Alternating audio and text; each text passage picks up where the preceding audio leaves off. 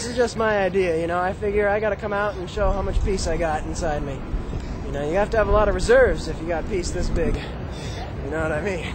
you know, I think we should go in, get the oil, get out. I think the war is is uh, antithetical to the human, uh, the, the, the American way. You know, I think we should just take the oil and get out. You know, we don't need this war stuff. Just take the oil and get out. Make Hummers, not war. You know what I mean? Yeah. Oh, thanks, man. You got the biggest vehicle. So you got a horn there? Does that work? Oh yeah. Honk if you got a big one.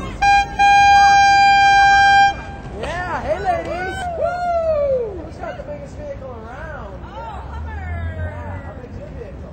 That's what I'm talking about. Oh, a minivan. Yeah. Well, I got a Hummer. Oh yeah. I can't, you know, I have to walk back. We have to get you all in. Yeah. You need a for this big.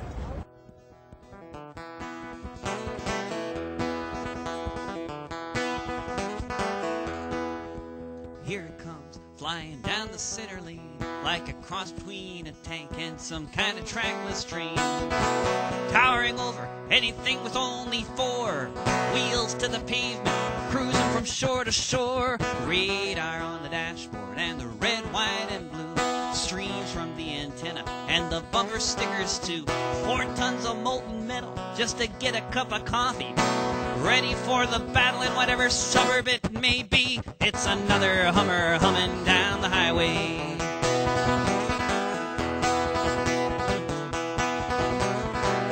See the soldier change his tires, stranded by the road. Maybe that yellow ribbon is some kind of secret code. Cause the Hummer drives on by with a passing stare saying, I support the troops, but don't expect me to care. It's another Hummer humming down the highway.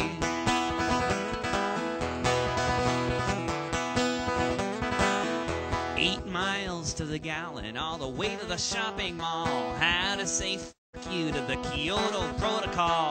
The only thing it's missing is a machine gun turret, but it still looks to me like a military target. It's another Hummer humming